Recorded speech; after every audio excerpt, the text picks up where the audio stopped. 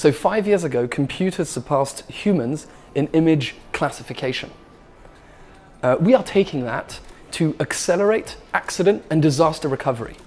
So our vision is whenever, say, uh, a car is damaged on the road or a flood hits an area and floods buildings, we'd want for people to be able to take images of the damage, for AI to analyze that, so that recovery can happen much faster.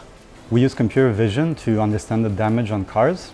Um, the way it works is after a car crash, our AI processes the images and understands them the same way a human would. Um, based on this understanding, we guide what happens next, ensuring the repair is performed as quickly as possible and therefore that the driver gets their car back faster. Our AI is trained on tens of millions of real-world diverse examples and this enables it to appraise damage on any type of car anywhere in the world and with every additional claim it uh, gets even better. We work with the largest and most forward-thinking companies in the world. Our technology helps them accelerate the claim process, switching the units from days, sometimes even weeks, to minutes. Now, this is not just about the savings. It's about changing the customer experience. When accidents hit, we want our AI to be there and help you make the claim and recover faster. This really matters for the world because accidents and disasters affect hundreds of millions of people every year.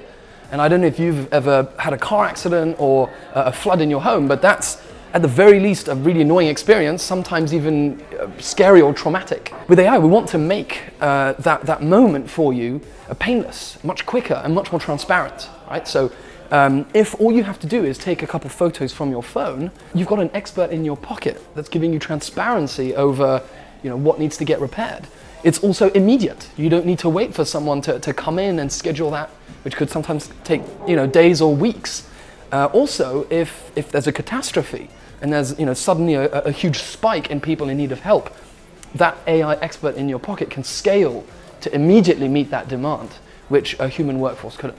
So what we're really excited about is we've accelerated automotive accident recovery so far for hundreds of thousands of households. We've done that across 10 countries.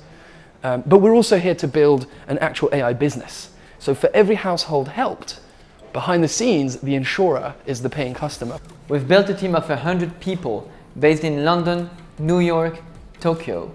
Most importantly, our AI is now in live production, making a real difference, changing the way people work and operate. We're extremely thankful to our customers who've had trust and vision in us and who've decided to embark on this AI journey with us. So working with the funds from Georgian partners and their very unique R&D impact team, uh, we are here to bring greater scale uh, to Tractable.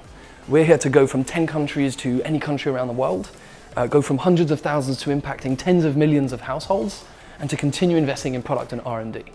Taking a step back, we're, we're extremely excited that this is one of the few companies taking an AI breakthrough to the real world to have positive impact and build a real business.